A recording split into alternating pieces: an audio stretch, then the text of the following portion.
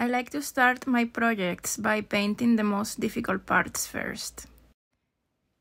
It's in a way like clearing a psychological hurdle that allows me to relax while painting. In this case, the most difficult part for me was the face. I started with a light wash and then proceeded to add more and more darker layers. In areas where I felt I went a bit overboard, I came back while the paint was still wet with a flat brush to remove pigment.